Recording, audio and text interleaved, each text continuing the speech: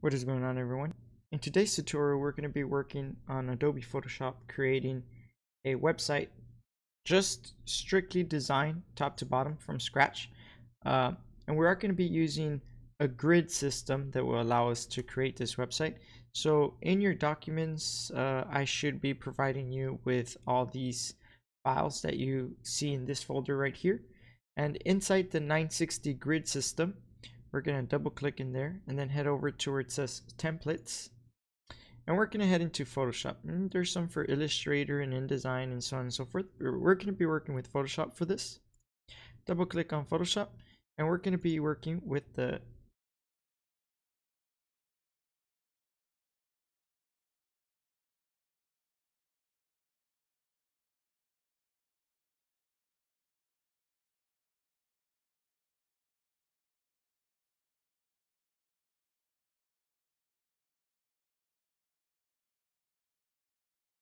960 grid uh, 12 column. Just go ahead and double click on that one. And it should open up here in Photoshop.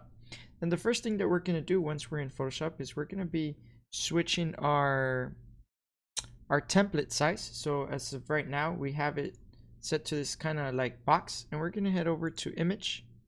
Canvas size because canvas is our white rectangle you see here.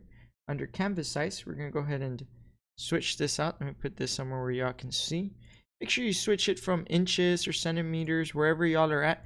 Make sure you switch it to pixels. When we work with websites, we're always working with pixels, so keep that in mind. So make sure you set that to pixels. We're going to be going to 1400 in width, and we're going to go ahead and switch over to 2500 in height, and just click OK. Once you zoom out right here, you should see that it's gotten way bigger. We can now press the little eyeball right here to hide this pink. We don't necessarily need it. And we're going to start adding uh, some more gridded lines. Uh, these lines are going to be coming in horizontally, just like so.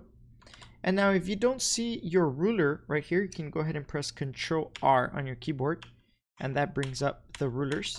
Uh, make sure your mouse is on the ruler currently up here when you click and then you can drag down. Okay, so after checking the rulers uh, a little bit, I went ahead and just added them and then you guys can kind of just place them as you see mine.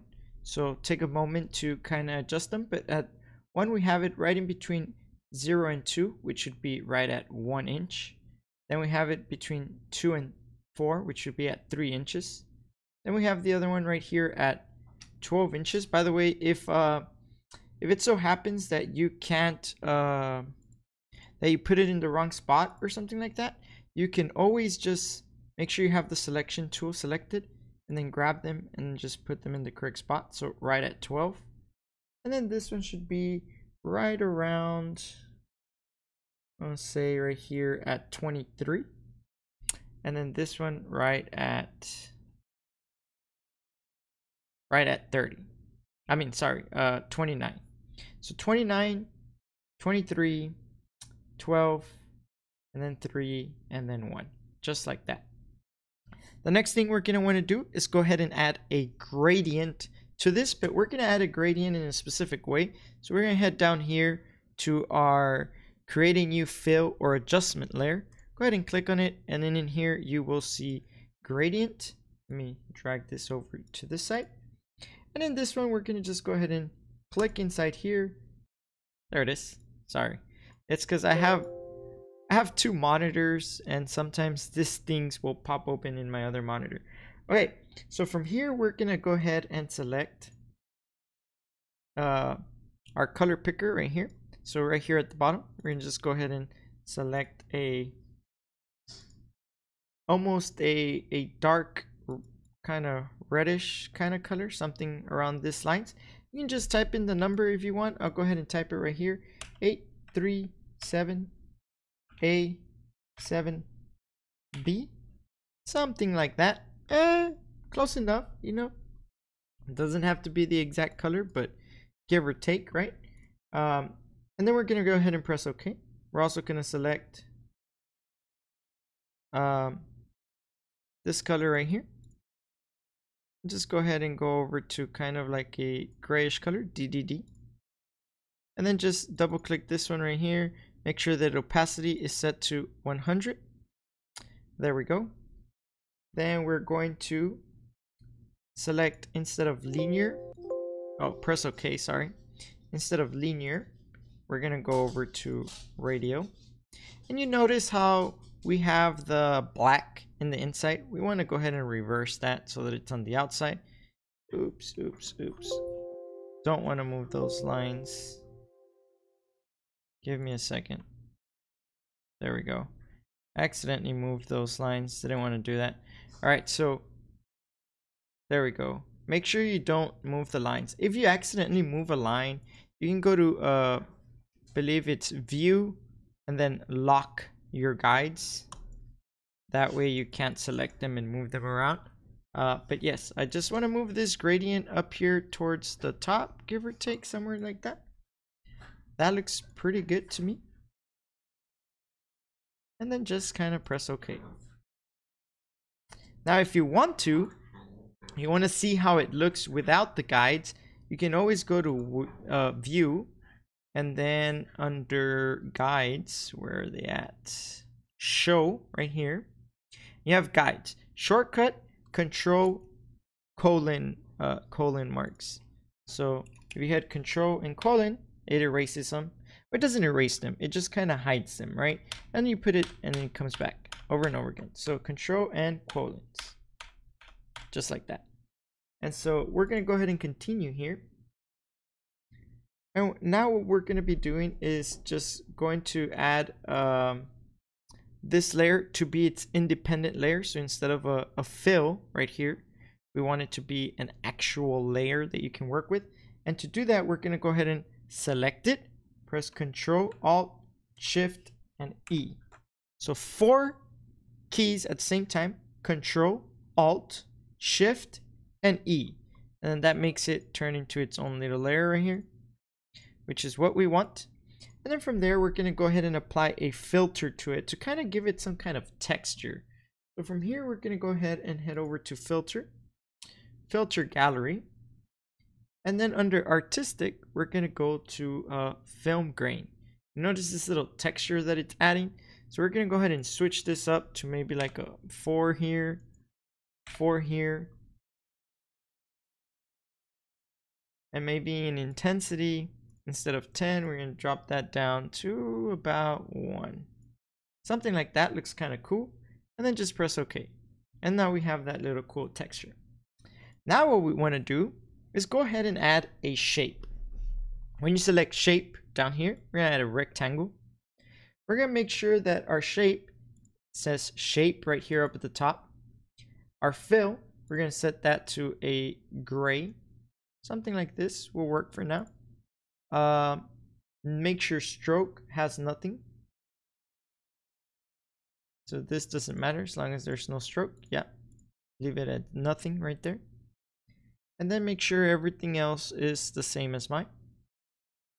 And then we're just going to go ahead and drag our rectangle from the number 3 down to our number 29. So let's go ahead and drag from up here down to 39, just like so. Perfect, just like that. And I'm just gonna go ahead and zoom in here to double check and make sure that it is perfect. So you wanna make sure that it's corner to corner and corner to corner. By the way, the way I'm doing this is uh, when you zoom in, control plus and control minus, when you zoom in, you can hold space bar and you'll get this little hand and you can kind of like click and drag around so you can move it around and stuff. So that's how I'm doing that. Control minus control plus.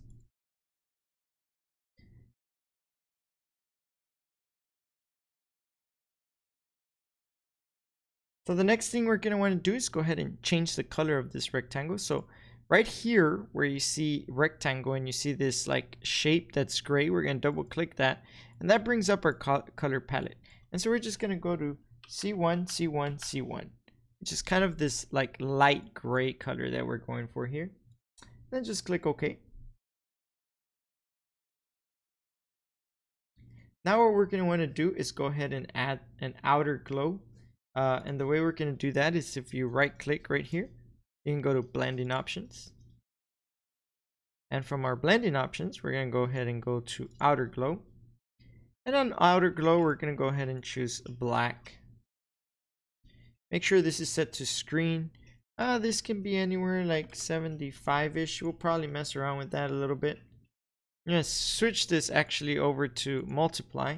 Put this over at like, mm, give or take like 34 pixels.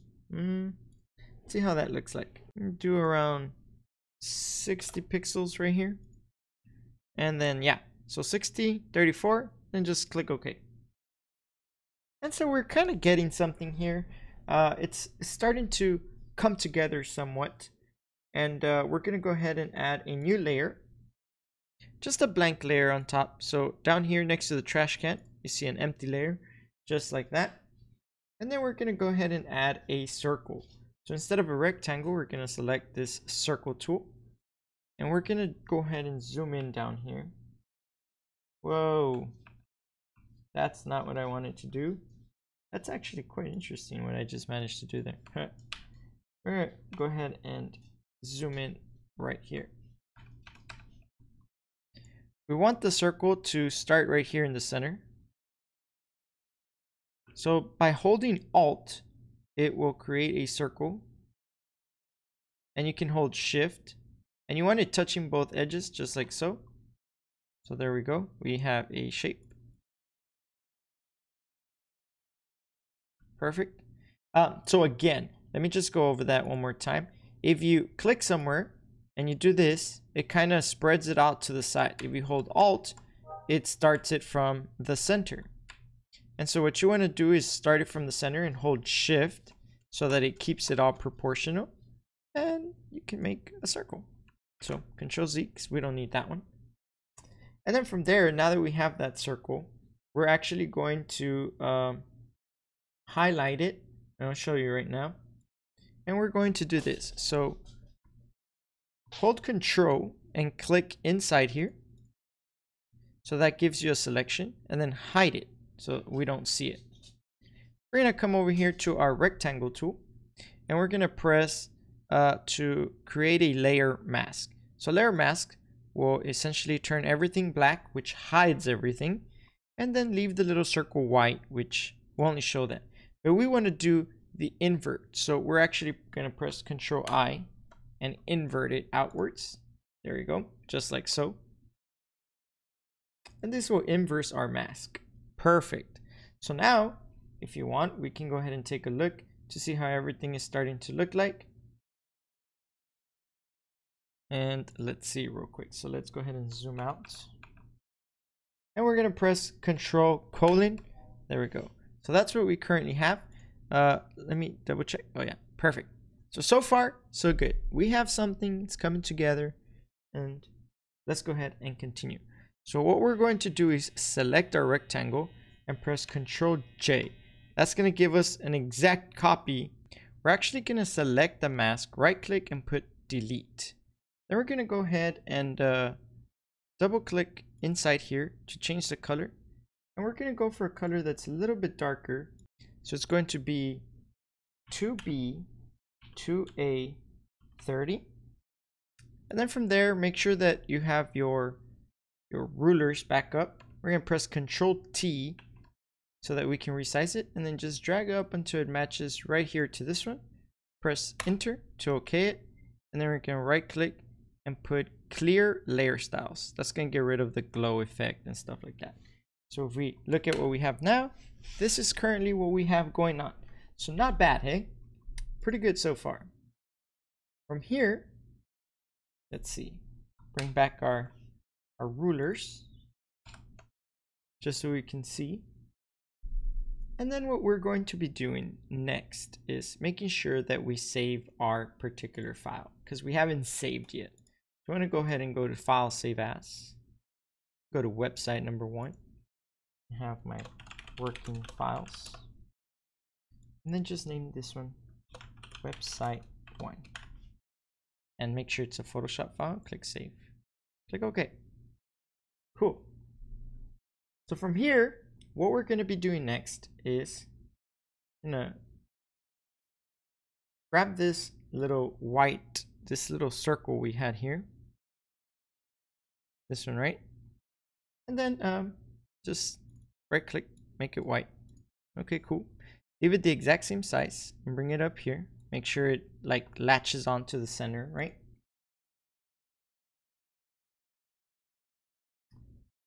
And again, we're going to do the same thing we did earlier to this particular one. So we're going to go ahead and select control and make sure it's highlighted. Then we're going to hide the circle, click rectangle, create layer mask, and then press control I to invert it. And now we have this like pretty cool thing going on here. And if I were to do this, we now have this cool little effect. So pretty cool. Pretty cool so far. All right, so the next step that we're going to do here is we're going to go ahead and put this up a little bit. We're going to select the layer with the gradient right here. And we're going to go down here and click gradient fill. So let me go ahead and show you which colors we're doing here. So we're going to go ahead and click in this one and then just click on this first one and then we're going to go ahead and type 2B2A30 click OK then double click on this side and we're going to type E6 DF D9 then click OK then we're going to drag this guy just a little bit in this direction and then bring this guy a little bit back over here it's the numbers don't quite matter as long as they kind of look like that. And then we're just gonna press OK and press OK. And we're gonna switch this over to multiply. Just like so. Maybe drop this down to around 95. That's okay. All right, so now what we're going to do is we're going to go ahead and select the actual layer mask, which is all white currently. We're going to grab our rectangle marquee tool. Make sure we have our, our rulers up. And we're going to start from the very corner and then just kind of drag down. We don't want to come all the way here. We want to end it eh, somewhere around, let's say 26, give or take. Maybe in between two, like 27 actually. Sounds better. And then all we're going to do is go ahead and just color all that in with black. Make sure you're using a brush and make sure it's black. Make sure you're at 100 and 100. It should look like this. And then you can just select the selection tool, press Ctrl D, and you will get rid of that selection that you had there. So now what we want to do after we've done all this, make sure we save one more time. And this is where we start importing the very first picture. So we can go to File, place embedded and we're gonna import our notebook and press place make sure we hold alt and we just kind of drag out towards the edges make sure it's like touching the edges press enter. We can go ahead and move the notebook all the way to the top. And we're gonna put the notebook all the way up here. And maybe maybe make it a, a little bit bigger. Just like so. Yeah that's pretty good. Just like so and then we're gonna drag it underneath this gradient right here that we have like that. Okay so the next step we're gonna be doing is heading over here to one of our rectangles. We're gonna go ahead and press control and click on our rectangle right here like you see.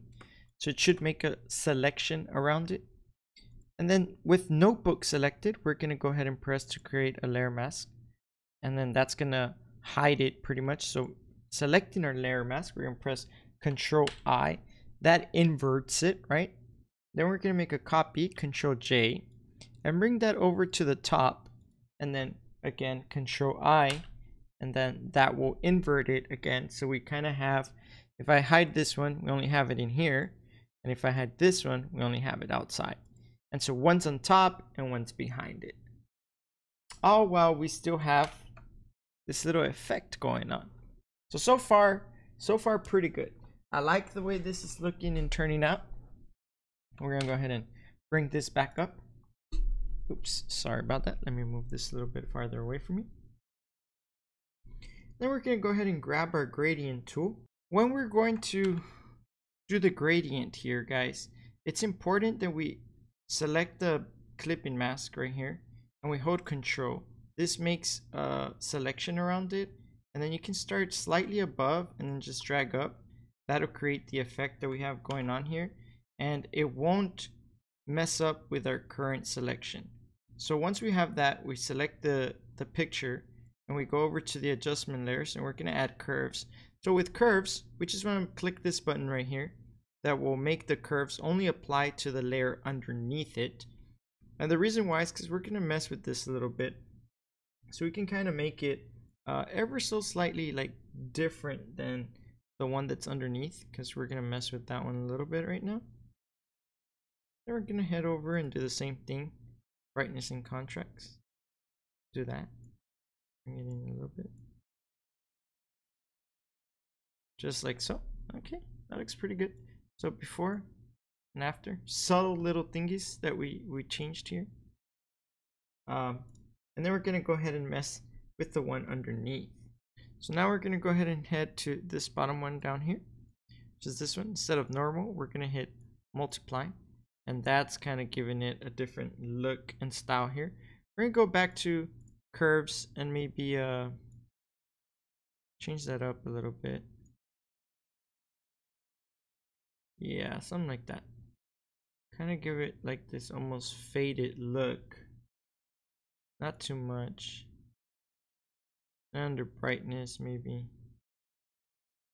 Not so much contrast.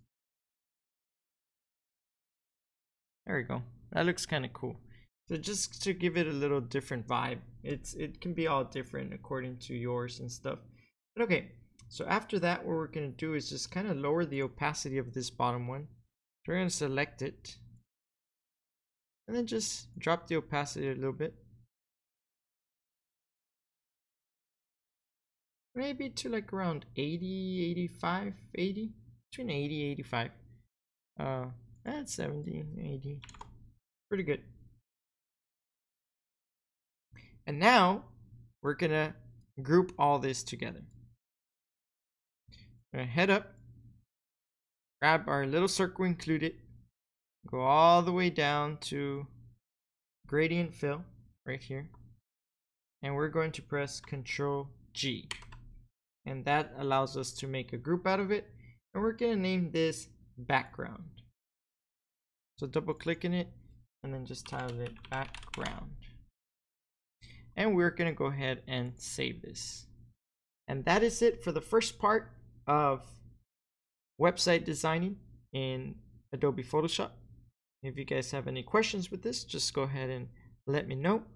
And we will continue again in part two of website designing in Photoshop. Thank you guys for watching, and I'll see you next time. Peace.